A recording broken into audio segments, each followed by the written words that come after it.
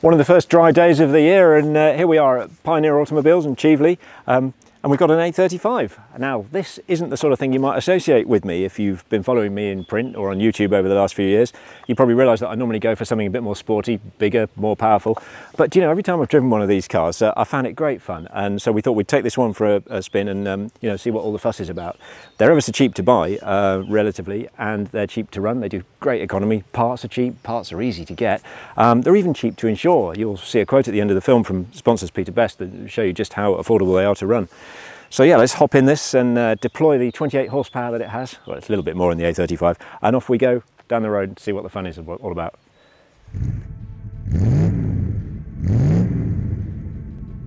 Well, before we set off, I'll just shut the window for the, the wind noise for the sound, which has been a problem, but uh, yeah, these really are basic cars. Look, that is how you shut the window. Simple as that. Love it. If you're not familiar with these cars, then it can be hard to tell your way around the model range, the difference between the A30 and A35 and things like that. Well, essentially, the first to appear was the A30, came out in 1951, with the 803 A series, which gave you about what 28 horsepower. In 56, the uh, entire range was uh, evolved into the A35, so you got a bigger A series, right up to 948 cc, and you got about 34 horsepower. And then from 62 onwards, uh, the A series got a further boost to 1098, and uh, you got a heady 55 horsepower there. But it really doesn't matter which engine you've got in reality. I mean, the 803, yes, it's a little bit sluggish in the A30 if you want to keep up with modern traffic. Um, but you know, you're not going to win drag races with the with the bigger engine either. You know, um, this is a 62 car, so we've got the uh, 948 mil with the 34 horsepower, and it's fine. It gets along perfectly well. I, they will actually get up to about 65 if, you know, if you're brave enough. Um, the thing is, you're not going to drive an A35 like you stole it because, um, well, they're just not that sort of car. they're a bit roly-poly on the handling, and uh, the brakes uh, really do need some commitment. Uh, someone said to me earlier on, you know, you've got to do the stopping for it, and I know what they mean. You know, you've got to press the pedal pretty hard. The car uses what's known as a hydromechanical setup, so you've got hydraulics and then rods uh, to, to the wheel cylinders, and that, that sort of works fine. but you know, don't be standing on it too hard in the wet. I mean, leave yourself some stopping distance, and you know, just be aware that this is a really old car and it has, you know, the dynamics of a really old car. But you know, you shouldn't be even trying to buy or drive an old car of the, certainly a car of this age unless you know that sort of thing, should you? So you know, it's largely irrelevant. Road testers at the time compared the A35 to the Morris Minor, which was inevitable, I guess. They were they were both uh, aimed at the same market. I think the A35 was just a little bit cheaper than the Minor, but they were actually produced by the same company. Uh, just a year after the A30 was unveiled, uh, Austin and Morris ended up part of the same company, so they were in-house competitors.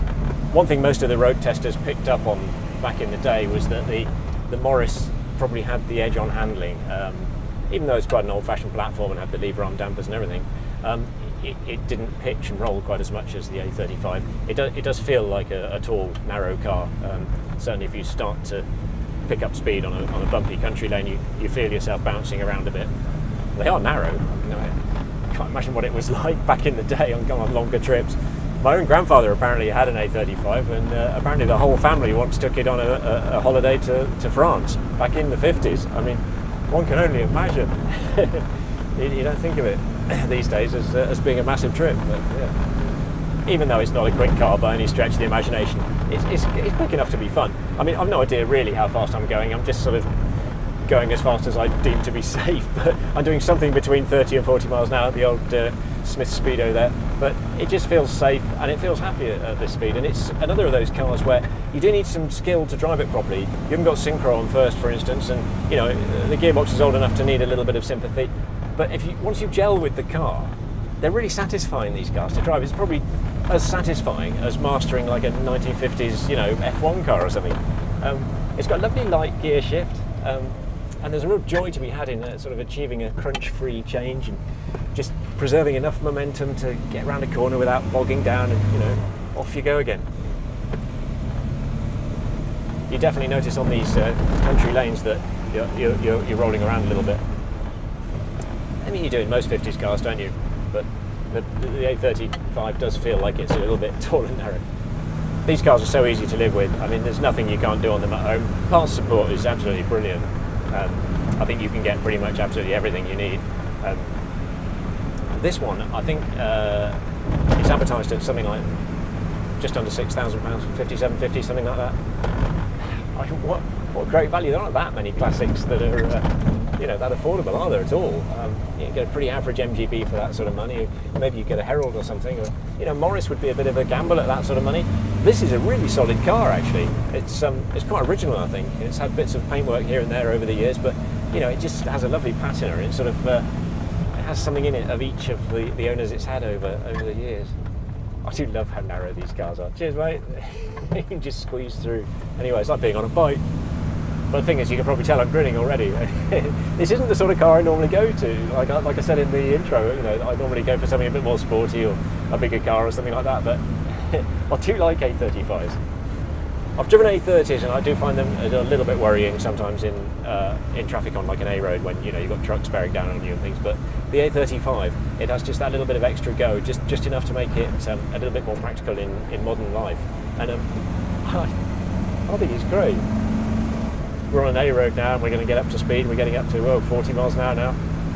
It does feel odd not having a seatbelt, but of course, you know, these cars are the age where you didn't get seatbelts. It predates seatbelts entirely, really. And there's nothing that makes you drive more carefully than that, is there? There's a real joy to be had from mastering the A35. James Hunt uh, had a van, didn't he, famously, and uh, you can see why he liked it, you know.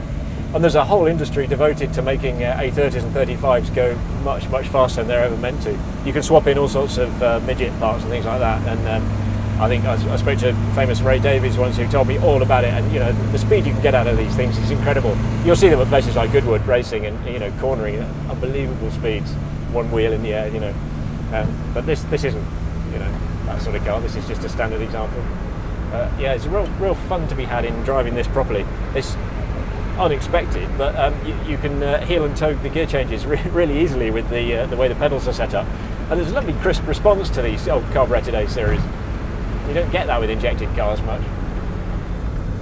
I was worried about how much fuel we had left. and I remembered one of the A35's strengths is its great economy. I think people reckon to get about 40 miles to the gallon out of them.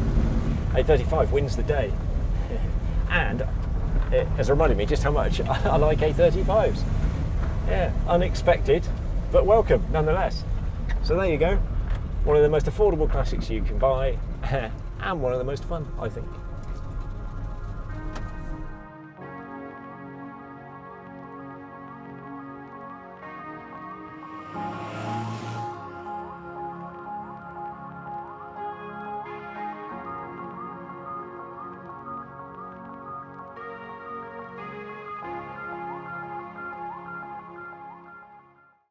Yeah, oh cool. I'll see you in a sec.